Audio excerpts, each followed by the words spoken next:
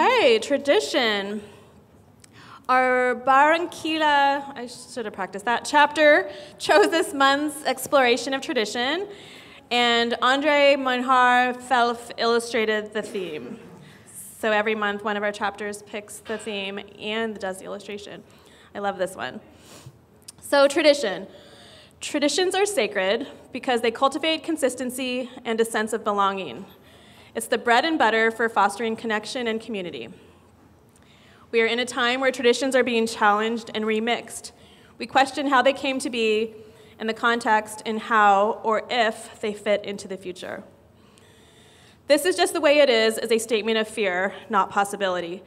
It undermines the human capacity to adapt and create change. Traditions are made by us for us, so therefore they can be reinvented with intention and imagination. You may not start the next national holiday, but you can bring to the table your generosity, your kindness, your vision, and heart to create a more welcoming future. So, this month, it is our tradition to do what we call Audience Takes the Stage. So, a couple months ago, we put out a call for applicants and we have three brave souls who will be up here speaking today. We have Megan Morgan, well, this is not in the correct order, but Megan Morgan, Jen Soong, Marco Gizar, and I'm really excited to have them. First, we have Jen Soong. She's the daughter of Chinese immigrants and grew up in a small town in New Jersey and has been on the hunt for extraordinary, extraordinary stories for as long as she can remember. Her work has appeared in Redbook, The Manifest-Station, and Entropy.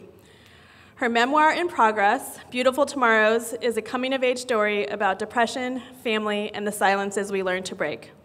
Her spirit animal is the hummingbird, who can traverse great distances despite being small. Please help me welcoming Jen, welcome Jen to the stage.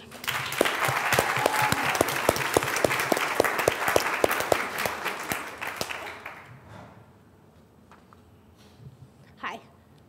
Can you hear me? Yes. Okay. This is my first time at Creative Morning Sacramento. I, thank you. I moved to California this summer with my family.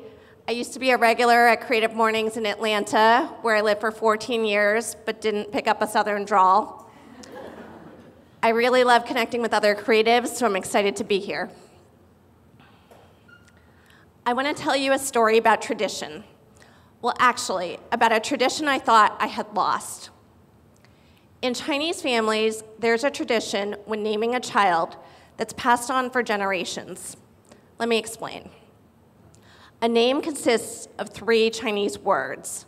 The first position is the surname.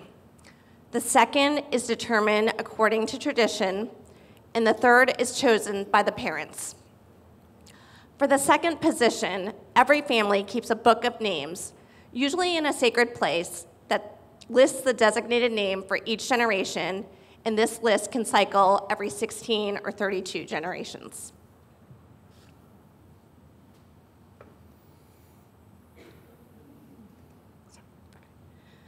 So my, my Chinese name is Song Wen Mei. And so my cousins on my father's side share the same middle word, Wen, which means literature or culture. For most of my life, I believed I had been named based on this tradition. I'm an only child, and my parents are immigrants born in mainland China. They fled to Taiwan with their families after the Communist Revolution in 1949. My parents didn't talk a lot about their harrowing journeys before arriving in America. I picked up bits and pieces about our family history and took comfort in the fact I could tell people my name is based on this family tradition. Like other American born Chinese, or ABCs, I knew growing up in New Jersey, I studied hard, played piano, and went to Chinese school on Saturdays. Sometime during elementary school, I started responding to my parents in English instead of Mandarin and tried my hardest to be an all American kid, blasting my boombox in my bedroom and lip syncing to Madonna or Bon Jovi, a time honored tradition of growing up in the 80s. In my 20s, I married a great guy, Irish Catholic with his own traditions, and we now have two kids. I carry a lot of guilt about not passing on more Chinese traditions to my children beyond occasionally eating dim sum or giving out red envelopes for Chinese New Year. Ten years ago, when I was pregnant with my son, I wanted to give him a Chinese name. So I asked my dad about our family book of names. He told me again it's usually kept in a temple in a family's village. This time, he went on to say nothing was saved from ours after the war, and there were no records. I didn't believe him. No, you told me about this tradition, I insisted. He said, It is tradition, just not ours. When I reminded him my cousins and I share the same middle word, he said his father had picked out a word. There is no book to consult. His words hit me hard. It felt like plucking at random to me. I felt betrayed, like my naming tradition was a lie, and whatever tenuous thread I had to my ancestors was severed. As a parent, I have a lot of questions about tradition in my family history, ones that I've only started asking after my father underwent a major surgery three winters ago at age 84. He's in good health now, so whenever I visit him in New Jersey, I film his stories. I guess I am trying to make up for lost time. Perhaps surviving a life threatening surgery changed him because now he has opened up when talking about the past.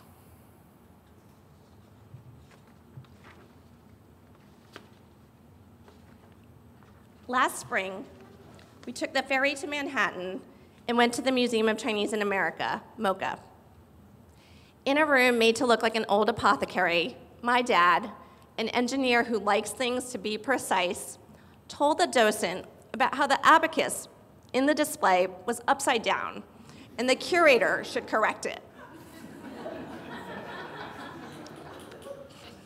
he also talked about how he took an ore bearing freight ship to this country that took 31 days to get to port in Oakland, California. He recalled his first impression with a group of Chinese travelers arriving at San Francisco Bay at night. All the lights were still on in the buildings, he said. We couldn't believe it and said, uh, what a waste of electricity.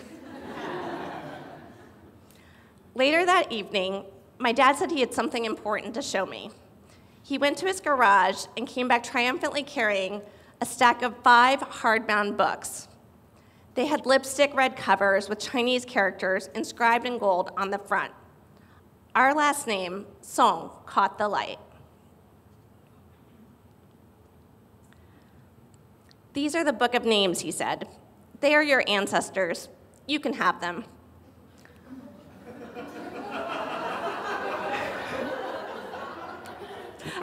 I was stunned into silence. How is this possible? I thought any trace of the past had been wiped out after the war. Had he forgotten about them and they spent the last 30 years or longer buried in boxes in his garage? I was so elated by the discovery, I didn't probe more about why he said they didn't exist anymore. We flipped the pages, organized by location, looking for the name of his father's village in Guizhou, a southwestern province of China. Each section follows the male heirs and the lineage is clearly designated with number one son, number two son, and so on. In the past, daughters went unnamed. They are listed as wives by last name only in their husband's books, but not in their own family's books. The names date back to 200 BC. That's a whole lot of songs, I joked. yes, it is, he replied with gravity. It turns out my dad's dad, my grandfather, when he was in his 70s, had hired someone to track down and copy these precious pages of names. The generations are numbered and go up to 136. There was something reassuring about seeing all of these names. After studying different volumes and flipping the yellowing pages, my dad stopped and looked up surprised. Look, here's your name, he said, pointing with his finger and turning the page to face me. I took the book from him, feeling the weight of it in my hands. Amidst all of these thousands of names, there was mine, Song Wen Mei. The connection felt more concrete than anything I'd ever experienced before. I let out a sigh of relief. I could finally lay claim to my place in our lineage and embrace a family tradition that once again belongs to me. Thank you.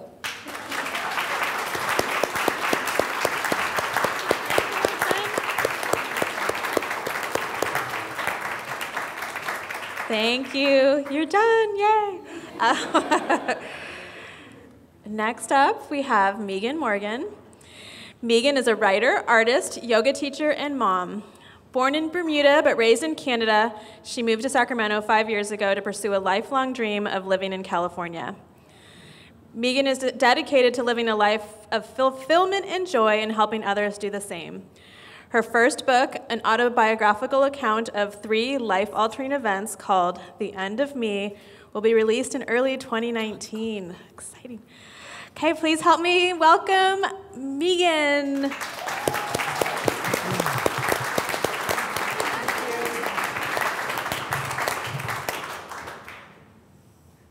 So, hey everybody, thanks for coming out this morning. I was sitting in your seats last year.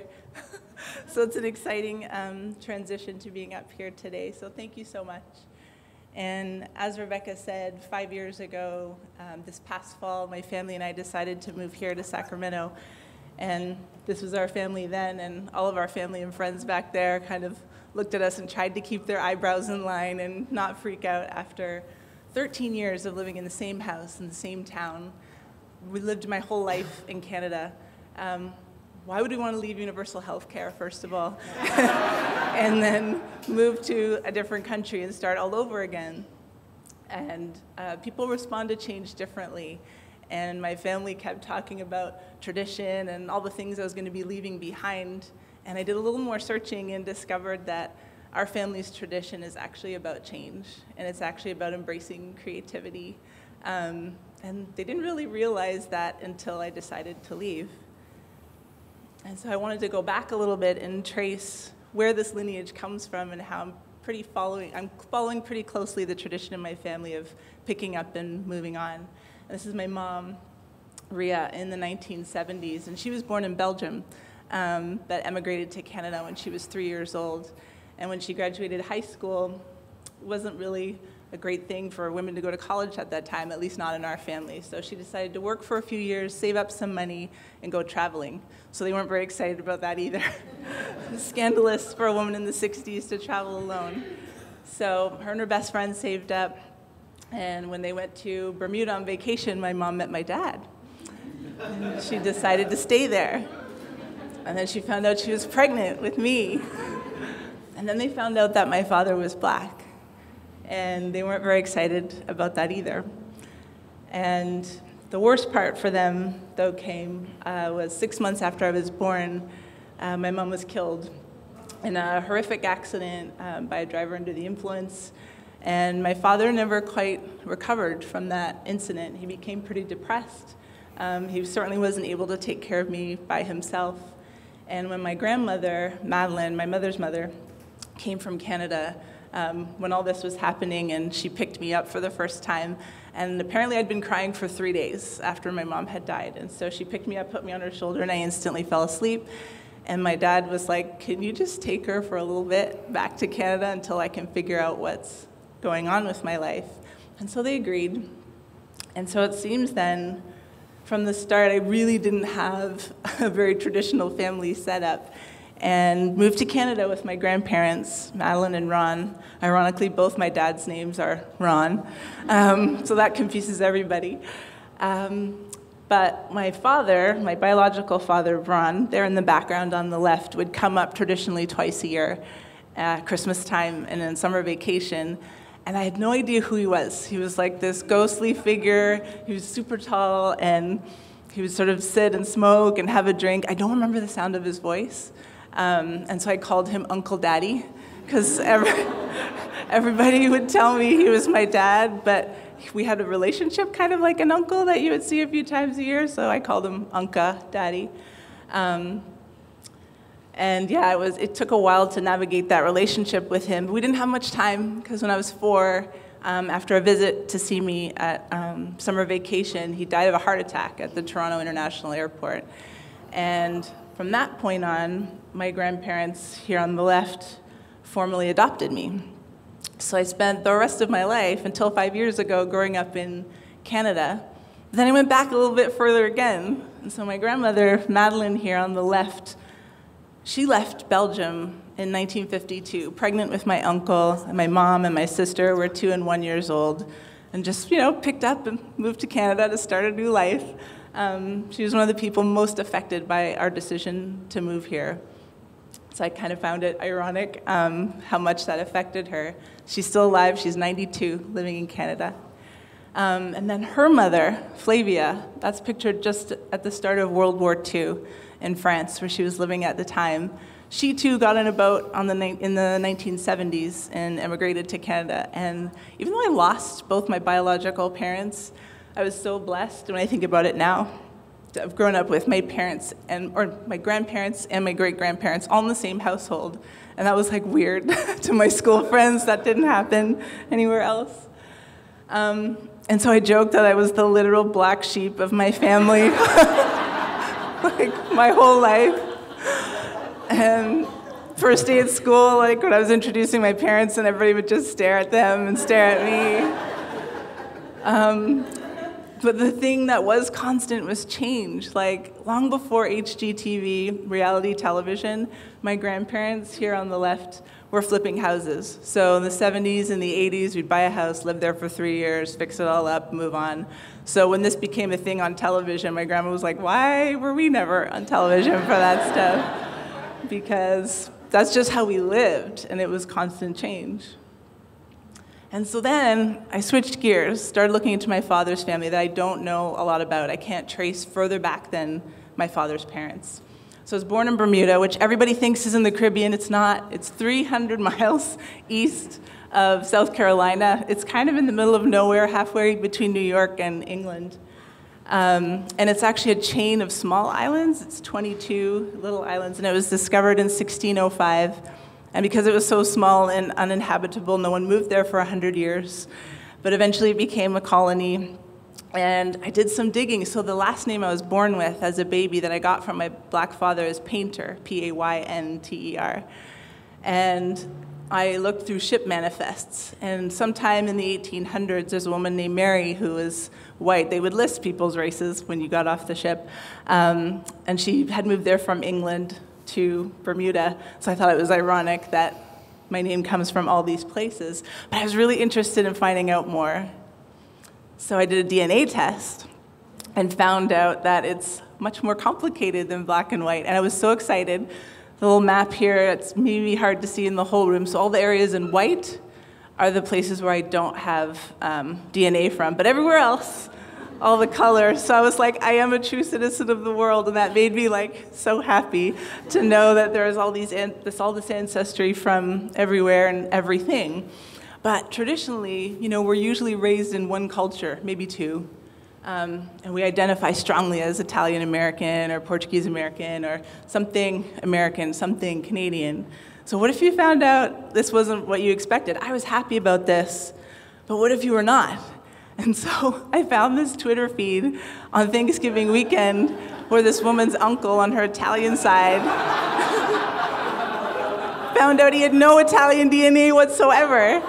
And the whole the whole family was having a like nervous breakdown and it like destroyed all their concepts of themselves. Why did you do that? So Wait, I'll let you finish reading. she ended up changing the name on her Twitter account because she got so many followers and retweets, it was like insane. So I think she tried to hide. Um, and then to bring this into the now, this is a photograph of one of my daughters. We have two daughters who are now 18 and 21. One of them's here today. Um, and so the one who can't be here today, of course, she made a decision at 19 to travel by herself to Australia and New Zealand and go backpacking with friends up and down the coast. And I almost had a nervous breakdown. I was like, what are you doing? You can't do this. But she saved up. She did it herself. She paid for it herself. Um, and I thought, of course, in her first term away at school, she moved to New York City, clear across the other side of the country, and I cried every day for like three weeks. Um, but, you know, of course, this is her lineage. This is the tradition of leaving, of changing, and forging a path for yourself. Um, and so, one thing I wanted to share with you to come back to the naming thing, and I'm so glad it ties in with what Jen was talking about as well. So, I was born with the last name Painter. When I was adopted, I got the last name Dodds. And when I got married, I wholly embraced my husband's last name of Morgan because I'm like, I'm choosing this. This is like my choice, and I'm choosing this guy. And a lot of women don't do that these days for professional and other reasons that I totally support. Um, but Another little known fact is that I actually asked him to marry me, and I had a ring. um, so very, very untraditional proposal, but uh, traditional that I took the last name, but then we eloped and didn't tell anyone and pissed everybody off. So that was kind of fun. Um, and then how I kind of wrap all this up is I wanted to bring in a little bit about something I'm really passionate about as a yoga teacher and practitioner and the notion of death because we're not supposed to talk about death or in very low tones. Um, so I wrote a book about death called The End of Me. Um, and what it's about is essentially I have physically died three times in my life when I was 19, when I was 24, and when I was 28. And one of the things that I came back with or that it's taught me is about living your life is about embracing change and finding your own traditions, leaving behind the ones that don't serve you or your family anymore, not inviting toxicity to sit at your dinner table if that doesn't work for you, finding the traditions that work. Um, and this time of year brings up all this turmoil for people about the shoulds, right? What you should do, where you should go, what you should buy, what you should eat, like all these things um, come into play. And so, this intensely personal story that I'm sharing with you is because I believe in the power and the tradition of storytelling. And here at Creative Mornings, this is something I've experienced every month for the last year. And I think by telling our stories, we give others permission to tell their stories too. And that's how we foster human connection. And that's how we make life worth living. And I think that's a tradition to keep going with. So thank you for letting me share my story today.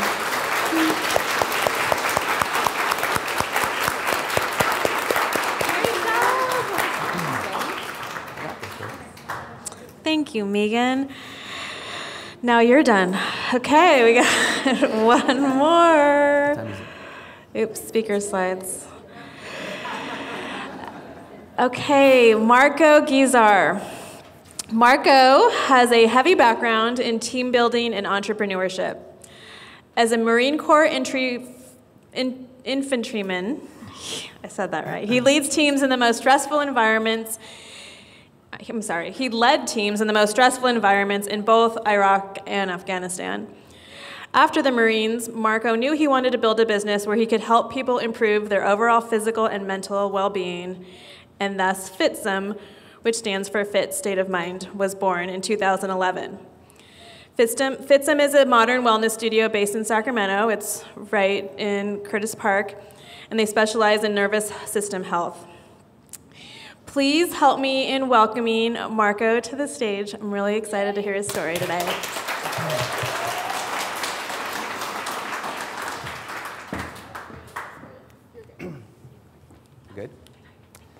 Good morning, everybody. How you doing? My name is Marco Gizar, and first and foremost, I wanted to thank everybody for showing up today and supporting Creative Morning. Rebecca and the whole team, I think, does, does, does a, a wonderful job for this community. Uh, my story starts in actually Colusa County. So I was born and raised in the country, and so uh, Colusa County is in between uh, uh Woodland and Red Bluff. So we like to say that uh, we say Ammons. We say uh, we say Ammons. So. We say Ammons because when we, when we shake the tree, we knock the L out of them. So I don't know, I just like to, I like to throw that out there. So my story starts back in 2001. I used to, before all this technology, I used to use my radio as my alarm clock. On this particular morning, it was Davy D, 102.5, and he's going nuts. He's talking about this can't be a mistake, we're under attack. The second plane had just hit the World Trade Center. I'm kind of waking up and kind of get my wits about me, get dressed, go to school. Mr. Green is, uh, my first class is Mr. Green, and he's as angry as any patriot could be on that morning. And so I remember this like it was yesterday. I'm 30, 33 now, and um, I'm 16 at the time. And I lean back in my chair, and I'm just like, man, I guess I'm going to war. and that was the moment that I decided to join the United States Marine Corps. Um, I think I watched one too many Rambo movies or what was going on back then, but you know, here I was, I was 16, so I couldn't join quite yet. I had to wait until I was 17. So next year came about, and I talked my mom into signing the paperwork, and here we go. Fast forward to my story, I went to boot camp. Boot camp was everything that boot camp should have been. It was tough. Fast forward to my story, I'm in the School of Infantry. It was actually a really tough school. I didn't really expect it to be that tough. So, but we got through it. Um, dropped into my unit, uh, 1-3 Weapons Company, 81st Platoon. So I was actually stationed in Hawaii. So I thought that was not too shabby. Out in um, Kaneohe Bay, right next to Kailua. So that was very nice. Um, so let's go. Here we go. We're in Okinawa, Japan. We have a big battalion commanders meeting, kind of like this. And uh, he gets up to the microphone and he says, Gents, we're going to war. And we all, we're, we're young, we're 19 at the time, we're, we're high fiving, we're really excited about this. We didn't really know any better. So here we go. We jump on our ship, we, we go to Kuwait. From Kuwait, we get off the ships, we get into our gun trucks, and we drive three days to the city of Fallujah. Back in 2004, the city of Fallujah was the most dangerous place you could possibly be in the world. Uh, for statistically speaking, I think I read that somewhere. And so, but here we were, we were, we were young and we were, we were in the midst of it. Um, right away, we, we started getting mortared, so it was just a big reality check right away. So we're, we start combat operations, we get going, and I don't know if you guys remember back in 2004, uh, there was a big battle in, around the city of Fallujah. So basically, we just surrounded the whole city, a lot of uh, infantry battalions, and we just went front to back. So it's like late October. Um, I had a, a, little machine gun I was issued. It was an M249 squad automatic weapon, and the snipers liked me to hang out with them because I had that little gun. So I wasn't the, the first unit to push in. I was just outside of it. We're on patrol. And um, so we're, we're walking, we're doing our thing. It's kind of late. It's like 10 o'clock at night or something like that. And it's, it's game time, you know? So our staff sergeant says, hey, take a knee. It's about to begin. And so we do a 360. Here we go. I have night vision goggles on, so I kind of pull them up because I wanted to see the, the thing. And so he's behind me, so I hear the radio, and he, three, two, one, cacao probably the most violent uh, explosion I've ever heard in my whole entire life. Um, literally, the ground shook underneath us, and I kind of we all stand up in awe. And I'm like, man, I, it just it just hit me. You know, a, a chill goes up my spine, and I'm just like, what the did I get myself into? Um, you know, I'm from the country again. I'm from I'm I'm from Colusa County, you know, and, and here I am. And from that moment on, it was nothing but machine gun fire Apache helicopters. I mean, from that moment on, it's just constant through for the next couple of months, really. So I promise I'm going to the tradition things, you know, we're just kind of setting the stage here. So um, a Marine Corps battalion is about a thousand Marines, give or take. Uh, on this particular uh, uh, deployment for us, we lost about 50 Marines, which is, which is quite a bit. Uh, two really good friends of mine didn't make it home, but somehow, some way, I got home and I was physically unharmed. I didn't earn a Purple Heart, luckily. So we come home, we go back to Afghanistan, we come home, and we didn't have enough time to do another deployment, and I didn't want to reenlist. I wanted to come home and, and start my life. And so the Marine Corps thought that the best thing that they could do for us was to make us push lawnmowers that time. And I was devastated. You know, for me, um, you know, in our unit, we, we, because we had done a lot of this, this fighting and, and, and our deployments, we had a lot of ribbons, you know, so when we wear our dress blues on the Marine Corps birthday, you know, we, had, we, we were kind of decorated. And so we took a lot of pride in this. And so for them to, to do that to us, I remember sitting in my barracks room and I was like, how could you do this to me? I gave you everything. And so we're, we get back and when I got out of the Marine Corps, I didn't want to talk about the Marine Corps. I wanted to grow my hair long. I, wanted to, to I ran around Amsterdam for about a month, you know. Um, I didn't want to think about it. I wanted to just push it deep down inside of me. So kind of fast forward, I had, I had already started FITSM. Um, you know, I'm, I'm, I'm, pushing, I'm moving forward. I'm, I'm, I'm just kind of moving forward in my life. And I catch wind of an organization called the American Dream U. American Dream U is a, a veteran entrepreneurship organization put on by this guy named Phil. Awesome thing kind of transitioning veterans out um, and, and, and hopefully into entrepreneurship. That was, was great. I got to meet Tim Ferriss, a bunch of great speakers out there, Greg McKeown, and um, so the speaker comes out there, his name is Brian Jennings, and he talks about, he's uh, the long snapper for the San Francisco 49ers. Um, he gives this amazing talk about the day he got cut from the San Francisco 49ers. So I'm going to paraphrase here and kind of try to tell you a little bit about what he said, but it was something along the lines of, in that moment, I wanted to rip Jim Harbaugh apart. I was so devastated that he was taking away this thing that I loved so much. And he's talking about, you know, playing in the NFL. And he says, but as I walked to the car, it, I knew that it was a race to being grateful. That I had to be grateful for the time, and again, this is him talking. He says, I knew I had, to, I had to be grateful for the time that I spent. I've played on the, on the highest levels of professional sports. I've, uh, I've played with Joe Montana, Steve Young, and all these legends and, and Super Bowls in front of thousands of people. And as those words were leaving his mouth and, and hitting my eardrum, it kind of hits me.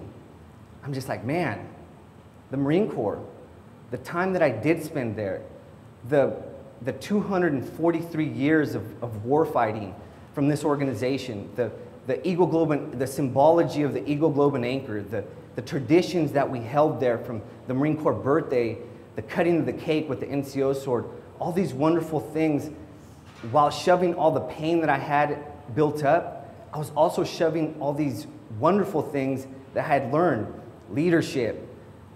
I mean, truly leading men in combat was, was a big deal. And that was a big turning point in my life. Um, that wasn't that long ago. It was maybe, maybe four years ago, three years ago. And that's when things really started to kind of move full circle for me. So, you know, as I got here today, and I, and I was just like, man, it's Christmas. I'm giving this talk about the Marine Corps, but, but you know, I had already developed it. So I, you know, it's Christmas. I didn't want to kind of bring this, this, this darker story, but I did want to give a gift to the audience. And for me, because it is Christmas, you know? So I wanted, the biggest, biggest thing that I could give you guys was that lesson that on this road that we're on, whether it be a creative professional, entrepreneur, or just life, there's going to be some big bumps.